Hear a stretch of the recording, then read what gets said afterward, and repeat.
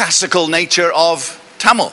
But his wife, Eliza Caldwell, wrote of the Tamil spoken about here, by meaning where they were living, as being very barbarous. In other words, the, the, the, dialect of that area, the spoken Tamil of that area, barbarous. But these people were not talking about barbarians and uncivilized. They're using barbarous in the sense of alien or not, uh, or, or, or uh, uncultivated, perhaps. Okay, now, Henriques in the Arte di Lingua Malabar. This is uh, familiar to you, I think, this one, yes. Uh, he says that Tamil has five declensions. How am I doing for time? Five declensions, five patterns of noun formation. And he gives them here one, two, three, four, five. But within number two, he gives two different varieties. And within number five, he gives three different varieties. So why do they got five? Well, they've got five because Latin has five. And so, if Latin, what they wanted to do, when they saw that Tamil had declensions and case endings, they saw this as the pattern of a classical language. For them, classics means in Latin and Greek. And if you could fit Tamil into the Latin pattern, this gave you the classical mold. So even though it's perfectly obvious that Tamil does not have five declensions, they wanted to fit it in to follow the Latin mold. So we have uh, masculine names, and descriptors, and feminines, and then the second one here. Uh, this could easily be two different declensions. Uh, we'll come to that in a moment. He gives a paradigm of five cases in Latin. This is uh, Henriques. Nominative, vocative, accusative, genitive, dative. Okay? Now the ablative he doesn't include. But he adds the ablative ends in ille or ill, uh, and he gives this as a locative. That's it. Balthazar Costa, a little bit later, in his grammar, gives a paradigm and he gives three different forms of ablative. Now, of course, Latin doesn't have this. So either you say Tamil has a different sec, a different set of cases, or you say uh, they're all really ablative. And then it fits into the Latin pattern. So they gave, what he said was, no, they're not different, they're all ablative. Look at them, they all end in different endings in, in Tamil, as you know. But they said, no, no, no, it's all ablative, really, uh, but they're stative, instrumental, and associative ablatives, because it then fits into the Latin pattern. They wanted it to fit the classical mold. Uh, other distinctions, like with regard to, for example, kuriche or kaga, he doesn't put into ablative uh, because these were not they, they, weren't, they weren't considered to be inflectional endings and because they don't fit into the latin pattern these senses with regard to and for the love of and things like that did not have case endings in latin but they have endings in tamil so they said, no, no, no, no, they're not really endings because Latin doesn't have them. Therefore, they are not. Just a picture of one of the manuscripts there. So you can see the, the, way, they, the way they wrote. You probably recognize this, one of the Goa manuscripts. yeah, uh, the way they wrote the singular here, nominative, genitive, dative, accusative, they wrote the paradigms just as they learned Latin in school. And here you have, it's not, what they're doing here is not saying this is a different case, it's all ablative. It's all that because Latin has one ablative, and therefore they're going to put it all into this same function. There's another one, this is uh, 35, and the same thing happens here.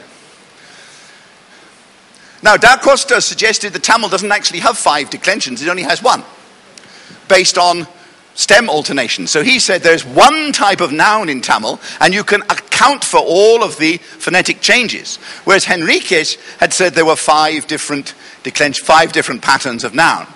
Um, what is happening here, of course, is that there is a realization that there, Tamil doesn't, is not inflecting. It's agglutinative, and that's slightly different. But they're only just beginning to realize this. Baldaeus, a Protestant in Sri Lanka, he had six cases for Tamil with the ablative expanded into four functions. Uh, basically, you say the it's ablative, but with different functions. That's probably more like what the truth is. Ziegenbalg wrote, Tamil is a peculiar language full of gravity and pathos. Now we're getting into the middle of the 18th century, as we will learn about in a moment. The point is that now they're recognizing that Tamil is not barbarous anymore. It's peculiar. Peculiar in the 18th century doesn't mean strange in a negative sense. It's a very positive word. A particular means special language. That's what it really means. Uh, it's exact and copious. Copious. It has a wide vocabulary. At last, they're beginning to realize this. A wide vocabulary. As the German and Latin are. Tamil is a classical language, like Latin. They're beginning to realize this in the 18th century. Before Caldwell, long before Caldwell. Okay? Gone is the epithet Baba. Tamil pronunciation now touches the ear agreeably. Beautiful, beautiful phrase. And no longer is the language deficient in vocabulary. You can see how the more people learnt about and learnt Tamil, the more they appreciated it, on it for its own merits and didn't come to it as a bar language. For Ziegenbalg, Tamil is on a par with German, his mother tongue, and the quintessential classical language, Latin. They realize, he realized, I mean, they didn't actually say this. They didn't say it's classical, but they said Tamil and Latin are on a par. And what they are saying, therefore, is that uh, Tamil is as good as, if you like the word good, a classical language as anything else. In Grammatica Tamilica, I won't talk about this because you're going to talk about that. I'll leave that. and then we go to the last one, which is Beschi. And Beschi made an, a study of how Tamilian grammarians analyze their own language. And he observes that in traditional grammars, uh, grammars of Tamil, there were no declensions. So the declensions were superimposed on Tamil by the Europeans to fit the classical mold. Beschi follows Da Costa in saying actually the nouns, there's only one form of noun and you can account for all the changes uh, phonologically. And he gives an eight case model where he says ab- stative ablative, instrumental ablative, associative ablative are separate cases. Although he calls them ablative, he says they are actually separate. Probably more realistic. In this language, the noun has a proper sense, just one declension. All the cases of nouns are declined in a single way. Because as, you, uh, as we saw in Latin and Greek, there are, diff- there are five different patterns, basically in, in Latin, five different patterns of noun. But in Tamil, he says, no, they're all declined in the same way. And then you fit in the phonological changes. And he de- uh, details the senses of the various ablatives, adding the stative in ill is also used to express comparison. Uh, and Ziegenbalg's analysis are not the same. Uh, Ziegenbalg treats things like Aikonde as unique ending, and Beschi analyzes, sub-analyzes these uh, uh, uh, as functional verbal suffixes. But we're not going to, we, do, we, do, we needn't bother about that. All right. He divides the ablative into three and he gives the locative, all of these locatives, and we've been talking with a, a colleague here about uh, space. Already they were realizing that there were different forms of locative, different spatial relationships, but they didn't have the words in English to explain these. They're all locative.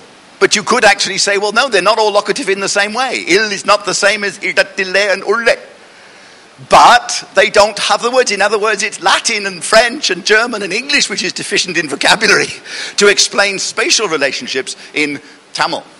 For the associative, look at all these, all very different. But we don't have